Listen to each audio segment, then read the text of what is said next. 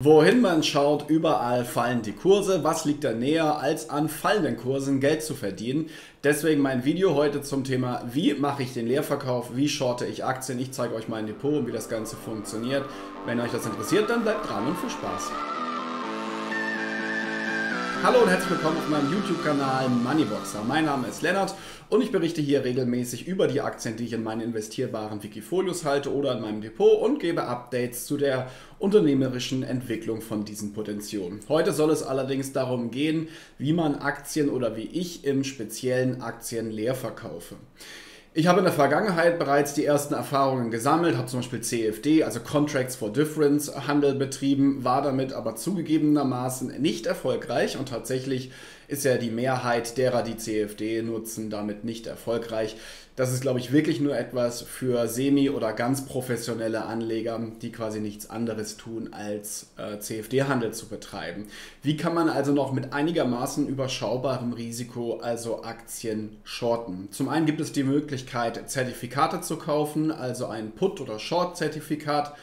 Da hat man allerdings den Nachteil, dass es immer einen gewissen Aufschlag und relativ hohen Spread gibt und über die Zeit der Preis fällt. Das heißt, auch wenn eigentlich der Kurs gar nicht äh, sich in die entgegengesetzte Richtung entwickelt, ist der Preis des Zertifikats trotzdem äh, negativ für einen. Das heißt, man muss hier schon deutlich äh, Glück haben, dass der Kurs in die richtige Richtung läuft. Also auch das ist eher was für fortschrittlichere Anleger. Es gibt aber auch die Möglichkeit, Aktien leer zu verkaufen. Viele sprechen ja regelmäßig darüber, wie die Short, also die Leerverkaufsquoten von Aktien sind. Und diese Leerverkäufe kann eben nicht nur ein professioneller Anleger, also ein institutioneller oder ein Fonds machen, sondern auch du und ich als Privatanleger können das Ganze tun.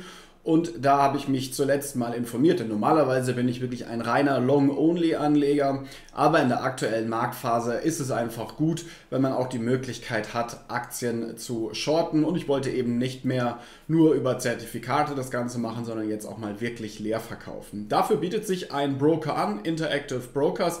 Da habe ich mir dann kürzlich ein Konto gemacht. An dieser Stelle ein diesmal etwas anderer Risikohinweis.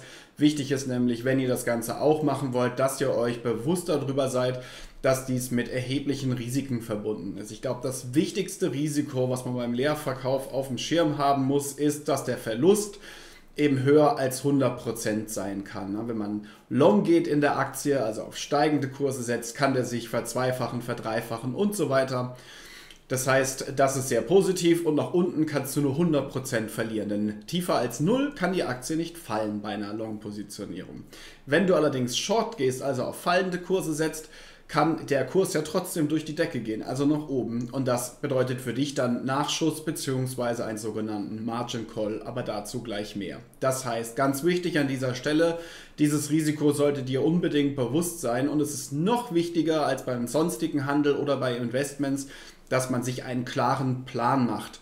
Wie sagt man so schön, plane dein Trade und trade deinen Plan. Wenn man so eine Leerverkaufsposition aufmacht, dann muss man einen Plan dabei haben, wann man diese wieder schließt. Idealerweise eben in beiden Richtungen, also wenn es für dich, aber auch wenn es gegen dich läuft. Und dieses, wenn es gegen dich läuft, ist in dem Zuge eben viel wichtiger, sich vorher überlegt zu haben. Also macht euch da einen Plan und schreibt euch direkt hinter die Ohren äh, oder als Limit direkt ins System, wann ihr die Position wieder schließt. Nachdem meine Erfahrungen also über CFDs eher negativ und nicht von Erfolg geprägt waren, habe ich die letzten Jahre eher über Zertifikate diese Short-Positionen gehandelt und nun habe ich mir ein Konto bei Interactive Brokers gemacht. Interactive Brokers gilt so als der, ich sag mal, Expertenbroker, der, der sich eher an fortgeschrittene Investoren oder Anleger richte.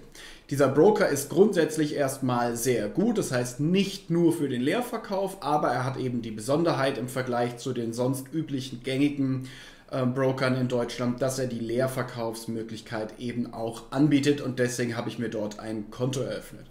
Wenn ihr das auch machen wollt, dann könnt ihr gerne meinen Einladungslink nutzen, den ich unten in den ersten Kommentar unter dem Video versehen werde. Da habt ihr auch die Chance auf einen Aktiengewinn. Ich blende das mal hier ein und ich bekomme eine kleine Provision. Da würde ich mich sehr drüber freuen. Damit unterstützt ihr dann mich und meinen Kanal. Wichtig bei der Anlage eures Accounts auf Interactive Brokers sind zum einen, dass ihr euren Ausweis, also ein Ausweisdokument parat habt. Das Ganze dauert nur ein paar wenige Minuten. Ihr macht Fotos von dem Ausweis und ein Foto von euch selbst. Das wird abgeglichen und dann geht die Verifizierung super schnell. Das heißt, in ein paar Minuten könntet ihr bereits loslegen, wenn ihr dann eben noch Konto, äh, Geld auf das Konto überwiesen habt. Das andere, was wichtig ist, ihr könnt auswählen, ob ihr ein Cash-Konto oder ein Margin-Konto eröffnen wollt. Hier ist es wichtig, wenn ihr leer verkaufen wollt, müsst ihr ein Margin-Konto eröffnen. Das bedeutet eben dann, dass ihr sogar ein Stück weit mehr handeln könnt als die reine Liquidität, die ihr auf dem Konto habt. Bedeutet aber eben auch, dass ihr hier ein gewisses Risiko habt und da müsst ihr euch eben drüber im Klar sein. Die meisten von euch haben wahrscheinlich von dem sogenannten Margin Call schon mal gehört. Sprich, der Broker informiert dich dann, dass deine Position so weit im Minus ist, dass du sie jetzt schließen musst und ansonsten macht das der Broker für dich, was natürlich dann auch nochmal mit Gebühren verbunden ist und du hast keine Handhabe darüber, welche Position jetzt geschlossen wird. Also, auch hier nochmal der Hinweis, seid euch bewusst, was ihr da tut. Aber ich finde, Learning by Doing, ähm, wenn man die Dinge nicht mal ausprobiert, kann man auch nicht darüber reden.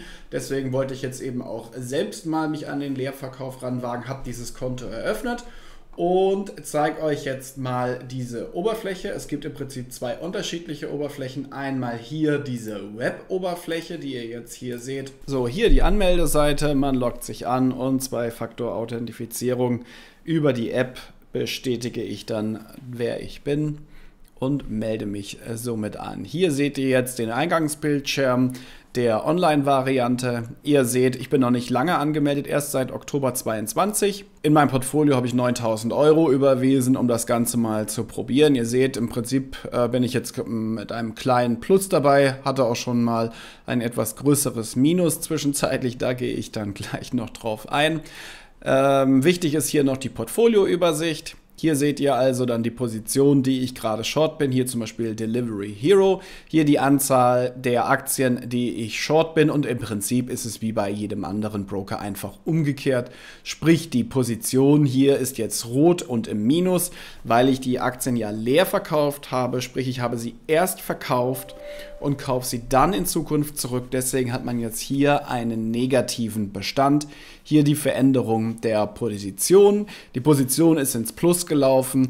Da ich aber Short bin, heißt das für mich, heute ist diese Position für mich im Minus. Insgesamt ist diese Position ebenfalls im Minus, während zum Beispiel hier bei Lilium die Position insgesamt im Plus ist. Also alles in allem ziemlich wie man es bei jedem anderen Broker kennt, einfach nur mit dem Unterschied, dass das hier umgedreht ist. Hier oben macht man über die Symbolsuche, dann den, äh, sucht man sich den jeweiligen Titel und kann dann eben sein äh, Trade machen. Jetzt schauen wir uns nochmal die etwas schönere Software an. Ich melde mich hier also mal wieder ab. Hier jetzt die sogenannte Traders Workstation. Man lädt sich also eine Exe-File runter, installiert sich das Programm und dann hat man hier diese Übersicht. Da sieht man auch schon, das sieht direkt ein bisschen mehr an Experten ausgerichtet aus. Was ganz cool ist, ihr habt hier auch einen Chart. Das heißt, ihr könnt euch hier anklicken, ob ihr im Sekunden, Minuten, Wochen, Stundenstart oder whatever euch den Kursverlauf angucken wollt und hier seht ihr dann das Portfolio. Ihr könnt euch auch Favoriten erzeugen, das habe ich jetzt noch gar nicht gemacht. Hier sind also die Standardeinstellungen mit Meta, Apple, Amazon und so weiter gerade noch drin. Und ihr seht euer Portfolio. Was dabei ganz wichtig ist, sind die Gebühren, die anfallen beim Leerverkauf. Ihr seht hier einmal die Position, wieder alle rot, also negative Position. Ich habe die Position also verkauft, bin also ein Leerverkäufer und habe mir jetzt hier einblenden lassen, was der jeweilige Leihgebührsatz ist. Und ihr seht schon, die sind extrem unterschiedlich. Der günstigste Leihgebührsatz hier ist Delivery Hero mit 0,6%. Das heißt, 0,6% auf die Position pro Jahr zahle ich an Leihgebühr. Das sollte man natürlich also unbedingt mit einkalkulieren und sich immer anzeigen lassen bei dem jeweiligen Wert. Da sieht man auch als krasses Beispiel Unipa, der ja eines der Werte ist, die in aller Munde sind, weil der Staat dieses Unternehmen mehr oder weniger bereits verstaatlicht und demnächst äh, fast 100 Prozent am Unternehmen halten wird. Hier ist der Leihgebührsatz 41 Prozent. Das ist also enorm. Derzeit gibt es ja auch keine weiteren Aktien mehr, die man leer verkaufen kann. Hier muss man also sehr stark davon überzeugt sein. dass insgesamt die Position auch ins Negative läuft. Ansonsten lohnt es sich einfach nicht, hier diesen Leerverkauf zu machen. Auch bei Lilium ist man mit 20% Leerverkaufsleihgebühr schon ziemlich ordentlich dabei. Das Interessante dabei, wenn man diesen Broker nutzt, ist natürlich auch der umgedrehte Fall. Sprich, wenn ihr Uniper oder Lilium Aktien haltet, weil ihr davon überzeugt seid, dass das genau der richtige Wert ist, dann könnt ihr eure Aktien auch zur Verleihe freigeben und ihr bekommt einen Teil von diesem Leihgebührsatz. Also das kann sozusagen eine Art zusätzliche Einnahme oder Gebührensenkung bei diesem Broker für euch darstellen, wenn ihr so etwas machen wollt. Ansonsten habe ich hier eingeblendet, was, der, was, der, was die Positionsveränderung am heutigen Tag ist und der unrealisierte Gewinn oder Verlust. Der steht hier dann auch noch dabei und der Durchschnittseinstandskurs und der letzte Kurs. Das sind so für mich die relevantesten Informationen. Ich hatte eingangs erwähnt, dass ich mit diesem Short-Test-Portfolio ja schon mal ordentlich im Minus war. Und der Grund sieht man hier. Ich habe jetzt hier Unipar ausgewählt und hier sieht man jetzt den Tageschart, also eine Kerze, ein Tag. Kann man hier oben, äh, wie erwähnt, immer schön auswählen. Und ich bin im Oktober ja short gegangen und jetzt seht ihr hier, es gab diesen Dip nach oben. Unipa ist äh, bis auf fast 9 Euro hochgeschossen. Es kam also zu so einem Short Squeeze. Das heißt, wir haben hier eine extrem leer verkaufte Aktie. Dann kann es natürlich passieren, dass der Kurs plötzlich durch die Decke schießt, weil wenn die ersten äh, Kursanstiege da sind und viele Short sind, müssen sie irgendwann ihre Aktien zurückkaufen. Und wenn dann diese Margin Calls ausgelöst werden, dann muss der nächste zurückkaufen. Und so wird der Kurs eben plötzlich nach oben getrieben. Das ist ein Risiko, dem man sich eben bewusst sein muss, gerade bei den Aktien, die stark leer verkauft sind. Jetzt sieht man aber auch, nach diesem äh, großen Dip nach oben sind wir jetzt oder bin ich schon wieder 281 Euro im Plus. Aber ich muss natürlich auch eine ordentliche Rendite erwirtschaften, weil ich diese hohen Leihgebühren noch zahlen muss. Dann ein letzter Punkt noch, die Gebühren. Das kann man alles auf der Seite nachschauen. Wenn man jetzt hier einmal sieht, Minimum per Order ist man so im Bereich 3 Euro für eine Order. Natürlich je nachdem, ähm, wie ihr sie ausführt. Aber grundsätzlich kann man davon ausgehen, dass es ein relativ günstiger, aber sicherlich nicht der günstigste Broker ist. Also ich benutze so als Hauptbroker den Smart Broker. Auch da ein Affiliate-Link unten in der Videobeschreibung. Der ist zwar nicht besonders modern, aber der hat meines Erachtens die beste Preis-Leistungsquote, beziehungsweise einfach sehr günstige Preise und viele Handelsplätze. Das ist mir am wichtigsten. Aber da kann man eben nicht leer verkaufen und dafür jetzt wirklich für mich hier Interactive Brokers. So sieht also die Plattform aus. Vielleicht noch kurz zu den Positionen, die ich hier leer verkauft habe. Zum einen, Lilium ist noch ein relativ junges Unternehmen, das im Prinzip aus Deutschland kommt, aber an der Nasdaq per Spec gelistet ist ähm, äh, geht es um Flugtaxis, die senkrecht starten. Frank Thelen war da ursprünglich mal investiert. Ich weiß gar nicht, ob er jetzt noch dabei ist. Der Start der Flotte sollte 20 oder soll 2025 erfolgen, sprich es gibt noch keinen Umsatz. Äh, es ist noch komplett in den Sternen, ob es überhaupt jemals Umsatz geben wird. Ich zweifle das ganz stark an. Und genau diese Unternehmen werden, glaube ich, jetzt gerade stark oder im nächsten Jahr stark leiden die unprofitablen Unternehmen, die einfach noch einen hohen Kapitalbedarf haben und da zähle ich Lilium eben auch dazu. Dann als nächstes habe ich Delivery Hero.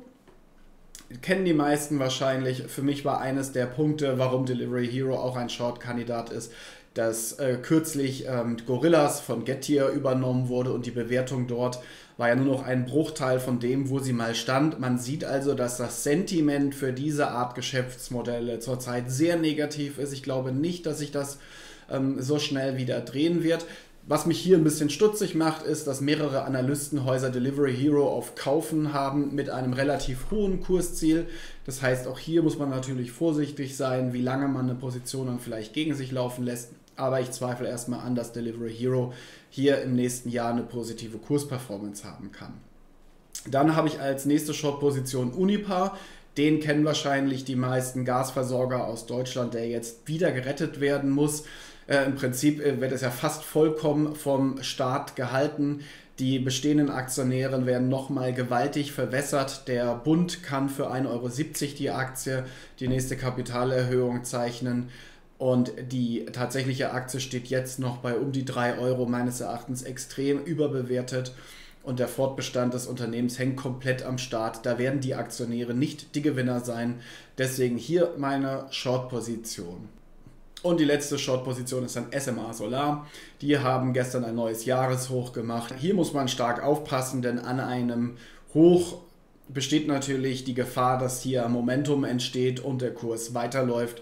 Ich halte allerdings die Kursrallye langsam mal für übermäßig korrekturfällig. Mal schauen, ob das gut ausgeht. Hier werde ich die Position noch nur wenige Prozent gegen mich laufen lassen, dann würde ich sie wieder schließen. Ich bin aber optimistisch, dass SMA erstmal reif für eine Korrektur ist. An dieser Stelle schreibt mir dann gerne mal unten in die Kommentare, welche Werte ihr noch als die Top-Shorts für die nächsten Wochen oder Monate anseht. Das würde mich auf jeden Fall sehr interessieren. Vielleicht ist das auch nochmal eine gute Inspiration für weitere Positionen. Ansonsten, wenn ihr noch Fragen zu Interactive Brokers habt, schreibt das auch gerne mal in die Kommentare. Wenn da ein paar Fragen zusammenkommen und Interesse besteht, dass ich hier oder da mehr in die Details gehe, dann mache ich nochmal ein erweitertes Video zu diesem Thema. Ansonsten bedanke ich mich, dass du dabei warst. Ich hoffe, du bist beim nächsten Mal wieder mit dabei. Lass mir gerne ein Like für dieses Video da und abonniere den Kanal, falls du es noch nicht gemacht hast. Und du kannst auch gerne das Glöckchen aktivieren, dann wirst du direkt informiert, wenn das nächste Video online ist. Ansonsten wünsche ich dir schöne Feiertage, mach's gut und hoffentlich bis zum nächsten Mal. Ciao.